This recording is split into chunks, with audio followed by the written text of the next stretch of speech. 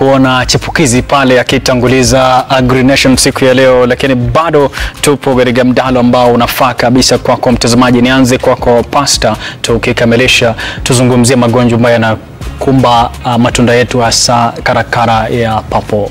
Ya, kuna magonjwa matatu na nitatangulia kuguzia na ambayo inaitwa ya brown spots kwa matawi na pia kwa matunda yenyewe, na hiyo inaitwa passion wood virus ambayo inaletwa na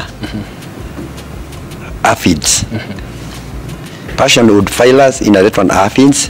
Kwa hivyo ni vizuri sana kama mkulima Okay. kuangalia the insects wale ambao wanaweza kaleta shida kama hao aphids. Okay. Sababu wakiingia unaona vile inasababisha.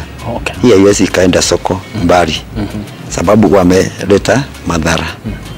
Kuna ingine ambayo huwa inasababishwa na baridi baridi yenyewe na kuna fusarian wilt mm -hmm. na inasababishwa na maradhi ya kutoka kwa uh, mchanga. Mm -hmm. Hayo tu ndio magonjwa ambayo huwa inasubua the passion fruits, na ndio ningeomba tu kama mkulima, zingatia sana kuangalia na uwe na mtaalamu karibu sana, ndio muweze kuondoa yale yote, ndio upate kilimo kizuri na upate bia, eh, pesa ambazo unahitaji pale mwisho. Good. Napenda sana namna unazungumza kuhusu hela, lakini tuzungumzie hela ya kusafirisha kimataifa. Sasa ni muhimu sana tuzingatie hilo, kwa sababu kuna soko la kimataifa. Tutakwendaje sasa, Wesley?